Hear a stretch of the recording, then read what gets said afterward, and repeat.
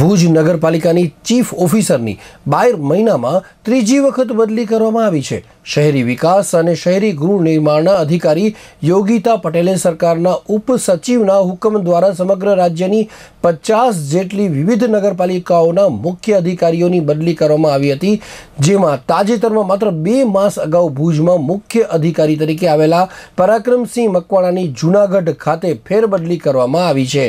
તો અંજાર નગરપાલિકાના મુખ્ય અધિકારી જીગર પટેલને ભુજ નગરપાલિકાનો ચાર્જ સોંપવામાં આવ્યો છે.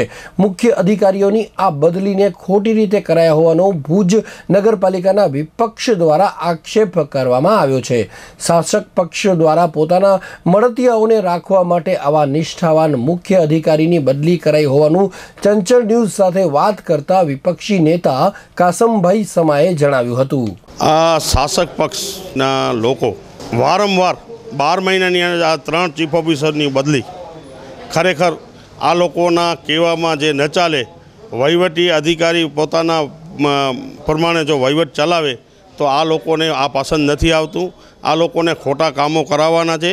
એના માટે ચીફ ઓફિસર જ્યાં સુધી એ લોકોના કામો ન કરે, એવા કોઈ ચીફ ઓફિસરને પ્રજાના હિત માટે રહેવા દેવું નહીં, એવું આ લોકોનો ચોક્કસપણે નિર્ણય લઈ અને આવા નિષ્ઠાવાન ચીફ ઓફિસરની બદલી કરાવી છે.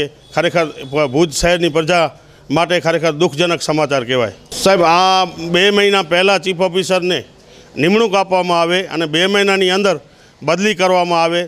ઠીક છે, જે પ્રમાણે બધે ચીફ ઓફિસરની બદલી થઈ એ બરાબર છે. પણ આ તો બે મહિના પહેલાં જેની નિમણૂક થઈ હતી. એની બદલી કરવામાં આવી છે. એટલા માટે ખરેખર આ ચીફ ઓફિસર અહીંયા માટે સારા હતા. અને આની બદલી ખરેખર ખોટી રીતે થઈ છે. ચોક્કસપણે એ લોકોના મળતિયા ચીફ ઓફિસરને રાખવા માટે અને સરકારમાં ઉપર દબાણ કરી અને આવા ચીફ ઓફિસર, નિષ્ઠાવાન ચીફ ઓફિસરની બદલી કરાવી છે, એ ખરેખર દુઃખજનક છે અને આવા ચીફ ઓફિસર જે પ્રજાના હિતમાં, પ્રજાના પ્રશ્નને રૂબરૂ સાંભળવા માટે પણ પોતે નીકળી જતા હોય, ત્યારે ખરેખર આવા ચીફ ઓફિસરની બદલી થઈ છે, એ દુઃખ બાબત છે. અગાઉ ચીફ ઓફિસર મનોજ સોલંકી સાહેબ આવ્યા. એમને પણ આ લોકોનો મેળ ન પડ્યું. એટલે એમની પણ બદલી બે, ત્રણ મહિનાની અંદર એમની પણ બદલી કરવામાં આવી. અત્યારે આ પરાક્રમસિંહ આવ્યા. એમની જોડે પણ આ લોકોનો મેળ ન પડ્યું. આ લોકોને ભ્રષ્ટાચારમાં જ વધારે રસ છે. એટલા પૂરતો જ ચીફ ઓફિસરોની બદલી કરવાનો કારણ બીજો કોઈ નથી.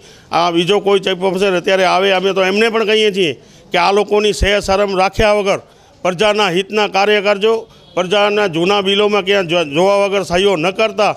નહીં તો આ તમારી નોકરી પણ આ- લોકો ગુમાવી દેશે અને પોતાનો કામ કેમ થાય એના માટે જ માત્ર ચીફ ઓફિસરોની બદલી થાય છે. વિરોધ પક્ષની અમારી એક જવાબદારી છે અને અમે વિરોધ કર્યો હતો ચીફ ઓફિસર કને સત્તાધીશોના કોઈ વહીવટી અધિકારી ન હતા ત્યારે ચીફ ઓફિસરની જવાબદારી ગણાય અને ચીફ ઓફિસરને એ જાણ બારા જે કામ થયું હતું એના માટે અમે ચીફ ઓફિસરનો વિરોધ કર્યો હતો અને ચીફ ઓફિસર અમારી સાથે હાલી અને એ પ્રશ્નોનું નિરાકરણ કરી આપ્યું હતું.